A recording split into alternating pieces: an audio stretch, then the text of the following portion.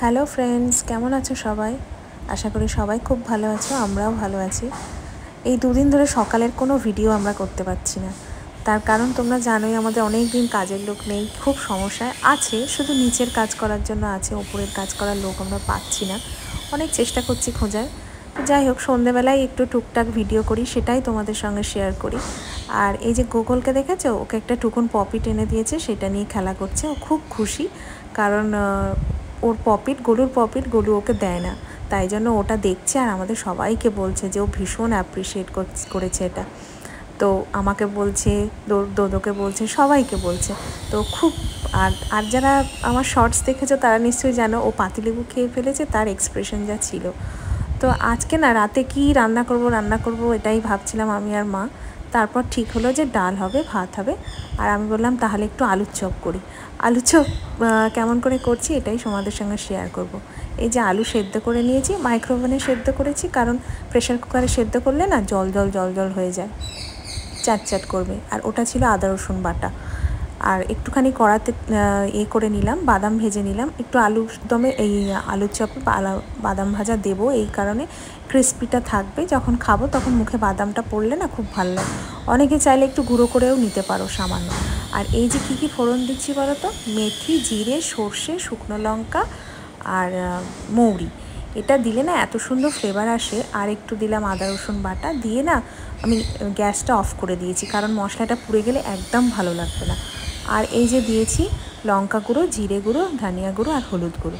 একদম গ্যাসটা অফ করে দিয়েছি, যেহেতু কড়াটা বেশি গরম হয়ে গেছে, তো ওটা পুড়ে গেলে একদম ভালো লাগবে না।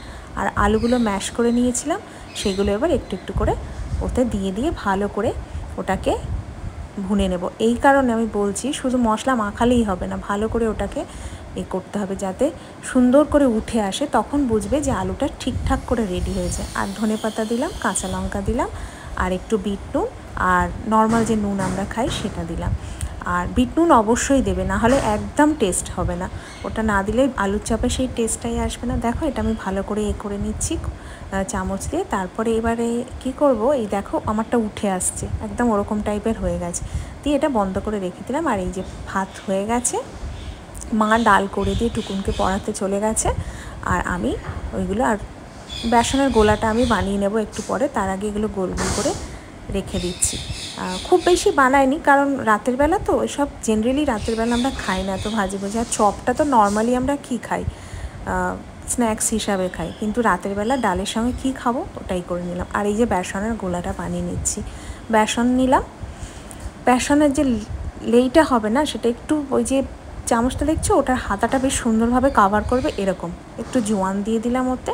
আর একটু দেব বিট নুন দিয়ে ভালো করে ওটাকে গুলে নেব, জল দিয়ে। ক্লকওয়াইজ অ্যান্টি ক্লকওয়াইজ গুলে একটা স্মুথ ইউনিফর্ম একটা ব্যাটার তৈরি করব।